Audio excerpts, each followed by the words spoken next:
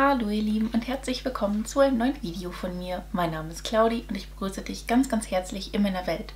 Heute habe ich das Unboxing von der Dolce Vita My Little Box für dich. Also My Little Box Dolce Vita Edition. Und wenn du Bock drauf hast, mit mir zusammen zu erfahren, was sich im April hier drin verbirgt, dann hol dir was zu essen, hol dir was zu trinken, lehn dich zurück, genieß die Show und viel Spaß mit dem Video. Wahnsinn. Wir haben es einfach schon wieder April. Ich bin, ich bin ich finde es wahnsinnig. Also es ist heute der 6.4., wo ich drehe. Und ähm, ja, die My Little Box ist jetzt bei mir eingetroffen und möchte ausgepackt werden. Ich bekomme die in der Kooperation kostenfrei zur Verfügung gestellt, um sie hier vorzustellen. Die kostet normalerweise 17,90 Euro pro Box. Und ähm, ja, erscheint monatlich, enthält Beauty-Produkte, Lifestyle-Produkte und ähm, manchmal ein bisschen Schmuck. Und ja, ist eine ganz besondere Box. Das werden wir gleich auch sehen, wenn wir sie öffnen, denke ich mal. Ich habe hier auch eine weitere Edition nämlich diese hier. Also die ist noch, also noch verpackt. Ich habe sie jetzt einmal kurz geöffnet, um zu gucken, ob auch wirklich genau die gleiche drin ist. Ja, ist es. die wird nämlich in diesem Video verlost.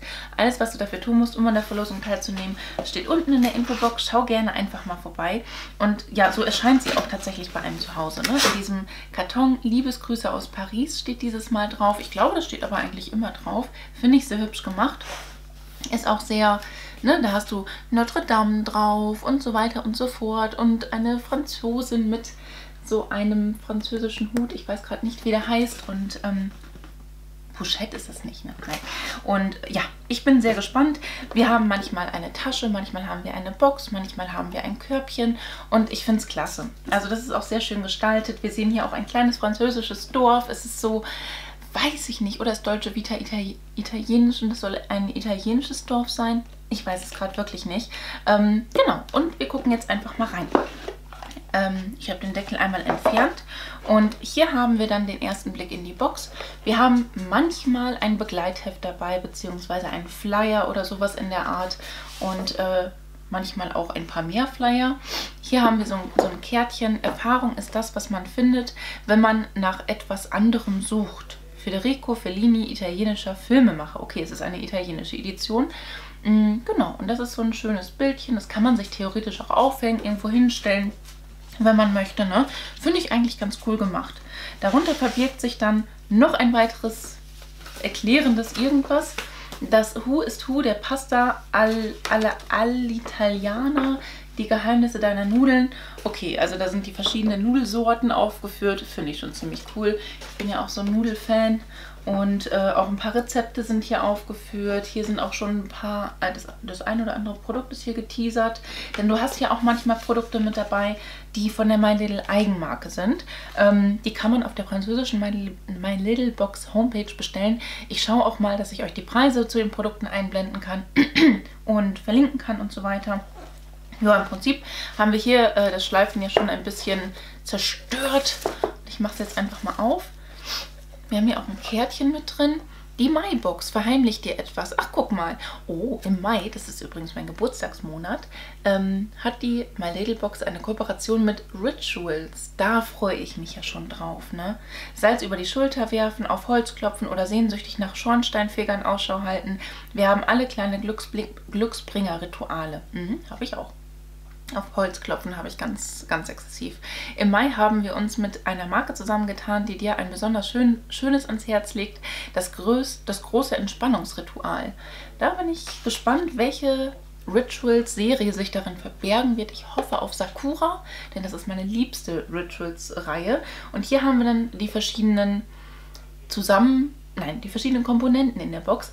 Denn es sind immer so kleine Täschchen und kleine Schächtelchen das ist schon süß gemacht, ne? Ich fange jetzt mal mit dem einzigen Produkt an, was unverpackt ist. Und da haben wir direkt was von Barbour. Nourishing Hand Wash Oil. Das ist schön. 200 Milliliter. Das kostet schon eine, eine ganze Stange Geld, ne? Keine Ahnung. 15, 20 Euro würde ich jetzt schon sagen, kostet sowas, ne? Gründlich reinigendes Handwaschöl. Das kann man gut gebrauchen. Also so ein Handwaschprodukt ist nie weg. Finde ich cool. Ist mit Pumper es riecht sehr neutral, sehr angenehm. Eigentlich nach Seife, ne? Das ist jetzt nicht groß irgendwelche Parfümstoffe, die man so groß riecht. Finde ich aber nicht schlimm. Jetzt habe ich da mein Lipgloss drin gemacht. Das ist übrigens der Catrice Powerful 5 irgendwas. Und auf meinen Wimpern trage ich die ähm, BH Cosmetics Stella Lash Mascara. Falls ihr euch fragt, weil ich finde, die ist ziemlich heftig. genau, so. Ja, finde ich schön, dass das mit drin ist. Und ähm, schon mal das erste schöne Produkt in der Box. Sieht man hier besser. So, dann kommen wir jetzt mal zu einem Produkt von My Little Box selber. Von der, ähm, also ich mache jetzt mal so ein ne, Lifestyle-Schächtelchen auf. Ähm, Farniente au bout du nez. Lunettes de soleil pour se la jouer. Incognito sur la côte italienne. Ist das eine Sonnenbrille? Das hat irgendwas nämlich mit Incognito und Soleil zu tun. Und wenn, ne, denke ich an Sonnenbrille. Und das kommt hier auch raus wie eine Sonnenbrille. Ach, guck mal, hier sind auch verschiedene Informationen über Sonnenbrillen an sich. Kategorie 3 soll das wohl sein. Und Kategorie 3 heißt, ist Pelle, ich brauche eh eine Brille mit Stärke. Das ist für mich eh nur ein Accessoire, wenn ich da mal am Strand liege, dass ich die dann aufsetze. Ne? Ansonsten laufe ich irgendwo gegen. La Deutsche Vita oder Vista, My Little Box, ist hier ein Brillenputztuch. Kann man auch immer gut gebrauchen. Und hier haben wir das schöne Schätzelein. Das ist dunkel und in so, ähm, ich weiß nicht, ob man das sehen kann, die Kamera das aufhängt. So ein bisschen Leo-Design ist das. Sieht man das? Ich weiß es nicht. Ich sehe es auf jeden Fall von hier, wenn das Licht so ein bisschen durchscheint. Setze ich die mal auf, weil ich habe ja echt eine große Rübe, Leute, ne? Ihr seht das. Die steht mir auch nicht wirklich, ne? Die ist mir, also schreibt mir das gerne mal in die Kommentare, ob ihr findet, dass mir diese Brille steht. Ich finde die ziemlich klein für mein Gesicht. Ihr werdet auf YouTube ja wahrscheinlich auch verschiedenste Unboxings sehen und da werdet ihr auch genau diese Brille auf anderen Rüben sehen und ähm, ich finde, dass mein Gesicht dafür zu groß ist. Ich finde, dass ich damit... Das ist jetzt nicht so Puck die Stubenfliege-Brille, äh, ne? dafür müsste die ja größer sein. Ich finde die für mich wirklich zu klein voll krass, ne? Ja, folgt mir auf Insta, dann seht ihr auch mal mich mit Brille, falls ihr das hier vermissen solltet. Ähm, hier kann ich leider meine Brillen nicht wirklich tragen, weil die Ringlicht, das Ringlicht, die Ringlichter, das ist noch eins, und die ganzen Lichter hier, die spiegeln einfach zu sehr. Das würde euch irritieren, das würde mich irritieren. Und wenn ich die Brille hier trage, sind meine Augen auch viel lichtempfindlicher. Das ist ein bisschen schade. Aber na, vielleicht kriegt eine Freundin von mir die oder die kommt mal in der Verlosung. Wäre die ein bisschen größer? Na, oder ihr sagt jetzt, oder ich sehe es beim Videoschneiden, man weiß es nicht, oder ihr schreibt mir jetzt in die Kommentare und sagt, Mensch Claudia, das ist deine Brille, die sieht richtig toll aus. Und wenn du dann am Badesee liegst, irgendwann mal in diesem Universum, und diese Brille trägst, das wäre doch der Hit. Wie gesagt, schreibt mir das gerne. Aber bitte ehrlich sein. Ihr könnt mir auch gerne schreiben, nee, Claudinchen, die steht dir halt wirklich überhaupt nicht. Ne? Ich finde es aber cool, dass sowas in der äh, Box mit drin ist. Und ich glaube, ich glaube, vor zwei Jahren war auch schon mal eine Brille, eine Sonnenbrille in der My Little Box drin. Wenn ich mich nicht täusche. So, ähm, ich mache es jetzt wirklich spannend und gehe nicht direkt zum dekorativen Kosmetik-Part, der sich hier drin befindet, sondern ich gucke mal, was hier drin ist. Ciao Bella, Etikette de Bagage pour Voyage qui botte. Ja gut, Voyage, also Reisen, ist jetzt ja gerade echt nicht so angesagt, ne? Man darf jetzt nicht unbedingt vergessen, hier hinten steht übrigens auch nochmal auf Deutsch drauf, kleine Etikette für dein nächstes Reiseabenteuer. Schmeiß dein schönstes Blumenkleid, Strohhut und Sandalen in deinen Koffer, häng deinen neuen Lieblingsgepäckanhänger dran, auf geht's. Amalfi-Küsse, willkommen. Amalfi. Ich habe letztens noch von Kiko bei der Amalfi Limited Edition zugeschlagen. Ähm, ja, aber die Boxen werden ja viel weiter im Voraus geplant. Wobei, wir hatten das Ganze ja auch schon vor einem Jährchen. Ne? Aber vielleicht hat man vor einem Jahr gedacht, ach nö, nö, nö, bis dahin wird alles wieder normal sein. naja, schön wäre es gewesen. Andiamo! Los geht's heißt es, glaube ich, ne? Weiß ich nicht. Und hier ist nochmal das gleiche Design aufgegriffen, wie auch auf der Box an sich. Ist wunderschön, ne? Wenn sowas, ja, hast halt dein, deine Adresse, kannst hier eintragen. Es ist nie weg, Ne? Bei der nächsten Reise, die vielleicht irgendwann mal stattfinden wird, kann man das verwenden. Es tut jetzt vielleicht ein bisschen im Herzen weh, weil wir jetzt gerade eben nicht reisen können, aber es ist ein süßes Accessoire. Ja, passt theoretisch auch jetzt gerade in die Jahreszeit, weil eigentlich wäre jetzt ja die Zeit von Ferien, Osterferien. Man würde theoretisch verreisen können oder würde sich auf den nächsten Sommerurlaub vorbereiten. Mm, ne? Shit happens, sage ich jetzt einfach mal. Wir gucken mal, was jetzt die äh, dekorative Kosmetik-Riege dazu sagt. Also es fühlt sich nämlich an wie ein Lippenstift und wie ein Pöttchen, was ich eben schon in dem Flyer gesehen habe. Ähm, Mace Bella, ja, ne, meine Schöne heißt das wahrscheinlich, in so einem Säckchen. Du hast meistens die dekorativen Kosmetikprodukte in diesem Säckchen drin. Und äh, dann habe ich hier zwei Produkte und ein Faden. Zum einen habe ich hier von NYX den Professional Make-up Suede Matte Lipstick. Gut, Matt und ich, wir sind nicht so die besten Freunde. Habe ich in der Farbe Kopenhagen. Und so schaut der aus. Der ist natürlich sehr intensiv. So ein Tönchen habe ich das ein oder andere Mal auch schon da. Ich nehme jetzt meinen Lipgloss, den ich drauf habe, mal ab und mache mir den drauf.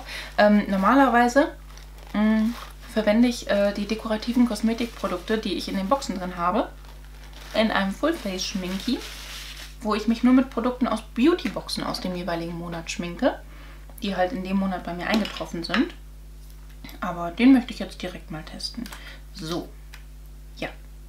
Matt und krass, ne? Das ist, das ist schon cool eigentlich. Von der Farbe her riecht auch angenehm. Also ich mag den Duft von den NYX-Suide Lippenstiften gerne. Meine Lippen glitzern einfach noch, ne? Okay, Oh, der kommt, der kommt, der kommt. Ohne Lip Liner ist es natürlich jetzt eine Herausforderung, ne? Sehr farbintensiv. Wow. Nee, aber eine geile Farbe. Also da beschwere ich mich jetzt null und ich spüre den nicht auf meinen Lippen. Hm. Der ist nicht kussecht. Also ich habe eben die Oberlippe gemacht und dann unter, runtergestempelt. Einfach so, ne? Und ähm, ja, das ist schon, schon krass. Aber es ist halt matt, ne? Das muss man mögen. Ich habe das jetzt oben sehr spitz gemacht. Das sieht jetzt sehr hart aus.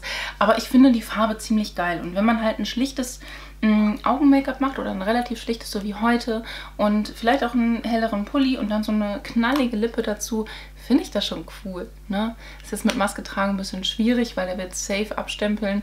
Aber ich finde den irgendwie, der hat was. Die Farbe hat was, der Lippenstift an sich fühlt sich schön an. Er gefällt mir. Doch, doch, doch, doch, doch, doch den mag ich, ne? Finde ich cool und wird auf jeden Fall auch in meinem Fullface Schminky nochmal in Anwendung kommen. Es sei denn, ich habe jetzt in den nächsten Beauty-Boxen auch ganz viele Lippenprodukte. Dann habe ich den ja schon mal... Ah, wir müssen mal gucken. Die Lady hier neben mir entscheidet eh. Und hier habe ich etwas, das ist ein Lippenbalsam. My Little Beauty Smooth Creamy, Creaminess Criminal, Criminal, nur als Criminal, witzig. Ähm, Vater Paupier Angelé. Ne, Vater Paupier ist doch ein Lidschatten. 8 Milliliter? Ist das ein Lidschatten?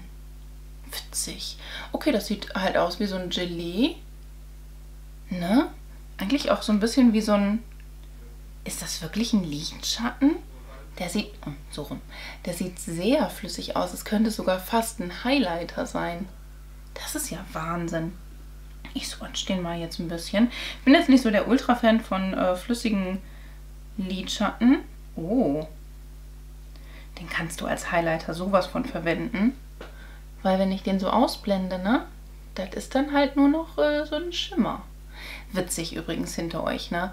Eben hat es geschneit. Ihr seht es ja auch an den verändernden Lichtverhältnissen. Ne? Eben hat es erst geschneit, dann wurde es hier dunkel im Raum. Jetzt gerade kommt die Sonne so exzessiv raus. Die weiß auch nicht, was sie will. Ja, aber finde ich eigentlich ganz cool. Ich weiß jetzt nur nicht, wenn ich den, da muss ich den ein bisschen mehr aufbauen und dann immer Schicht für Schicht und trocknen lassen. Ich glaube, das funktioniert, weil super deckend ist der jetzt nicht, ne? Seht ihr jetzt hier auf dem Handrücken, beziehungsweise ihr seht es eben nicht. Ne? Doch, das kann auf jeden Fall was werden. Werde ich ausprobieren. Bin ich gespannt drauf. Erinnert mich aber jetzt nicht unbedingt von der Konsistenz her an einen Lidschatten. Da würde ich eher sagen, dass es ein Highlighter ist. Ja, nun, ne? Wird, wie gesagt, ausgetestet. Ich weiß jetzt nicht, mit welchem Preis ich das ansetzen soll. Das werde ich mal gucken. Ansonsten werde ich das irgendwie mit einem vergleichbaren Produkt ähm, mir zu Rate ziehen. Jetzt habe ich den Stain hier drauf. Also auf dem Finger, wenn das antrocknet, ist es schon ordentlich. Es ist immer bei mir ein bisschen schwierig wegen meiner Schlupflider. Das crease dann einfach schnell. Ne? Deswegen bin ich eigentlich nicht so der Fan von Cream Eyeshadow. Aber ich habe jetzt auch zum Beispiel bei meinem aktuellen Look ähm, so einen Lidschattenstift verwendet und ähm, der verrutscht halt auch nicht. Deswegen, ne? Also es kommt immer auf die Qualität des jeweiligen Produktes an. Ihr Lieben, das war eine coole Box finde ich. Also wir haben ein nices Accessoire mit drin. Gut, nicht jeder hat so eine Rübe wie ich. Ähm, wir haben einen coolen Lippenstift mit drin. Ich kann euch nicht versprechen, dass ihr jetzt dieselbe Farbe drin habt. Es kann sein, dass die Farben vielleicht so ein bisschen variieren. Manchmal ist es auch so, dass die jeweiligen Pflegeprodukte variieren. Bei dem glaube ich jetzt nicht, dass, dass da unterschiedlich was drin ist. Vielleicht eine andere Duftrichtung, wobei wir hier jetzt ja keinen expliziten Duft haben. Deswegen glaube ich schon, dass jeder auch diese Handseife hat. Schreibt mir das gerne mal unten in die Kommentare, falls ihr eure My Little Box schon aufgemacht habt, was ihr so drin hattet. Und äh, ja, denkt an die Verlosung. Alles, was du dafür tun musst, um an der Verlosung teilzunehmen, steht unten in der Infobox. Schau gerne einfach mal vorbei. Und wenn dir das Video gefallen hat, dann lass mir doch sehr, sehr gerne einen Daumen nach oben da. Würde ich mich mega drüber freuen. Ansonsten wünsche ich dir einen wunderschönen Tag, einen wunderschönen Abend. Lass es dir ganz einfach gut gehen. Fühl dich ganz doll gedrückt von mir. Ich verlinke dir mal hier oben meine Playlist mit den ganzen Unboxings meiner Abo-Boxen. Hier unten meinen neuesten Upload. Auf dieser Seite noch ein Video von mir. Und hier oben kannst du, wenn du möchtest und es vielleicht noch nicht getan hast, mich sehr, sehr gerne einmal kostenlos abonnieren. Ich würde mich echt von Herzen drüber freuen.